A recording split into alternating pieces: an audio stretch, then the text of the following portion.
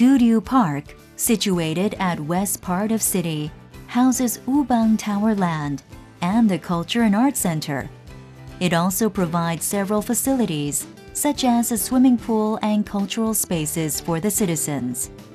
What a wonderful place for relaxing while enjoying the refreshing scene of water fountains.